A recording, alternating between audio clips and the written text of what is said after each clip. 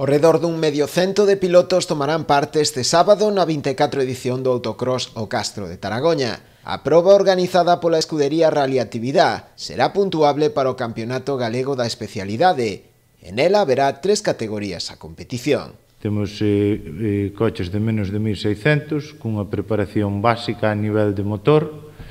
Despois hai coches de máis de 1600 cm cúbicos, e despois o, hai a categoría de carcross, que é unha das que, bueno, a mellor ten un pouquiño máis de éxito, o público sempre ansía eh, ver esa,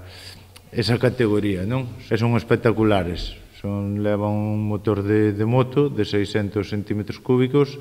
e a verdad pois que en aceleración, o ruido que teñen e a maneira de andar pois son moi chamativos. Dende o Concello que colabora na organización da proba, destacaron a importancia deste evento, que se recupera tras a pandemia. Chamar a que toda a xente que lle guste o motor que se achegue a, a este espazo, ao autocross o, o Castro, a ver estas instalacións e disfrutar desta práctica deportiva.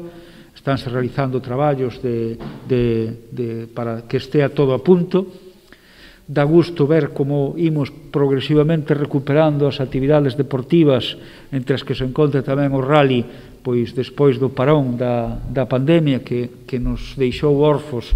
eh, por así decirlo, de varias prácticas deportivas e, e varias probas que eh, son unha presenza constante na nosa na actividade eh, do Concello e que seguramente os afeccionados principalmente votarán en, en moita falta e que se están de novo pois, recuperando para, para satisfacción de, de todos e todas. Dende a organización quixeron agradecer tamén a axuda das distintas empresas e casas comerciais que colaboran coa proba, que fan posible poder desenvolver un evento destas características.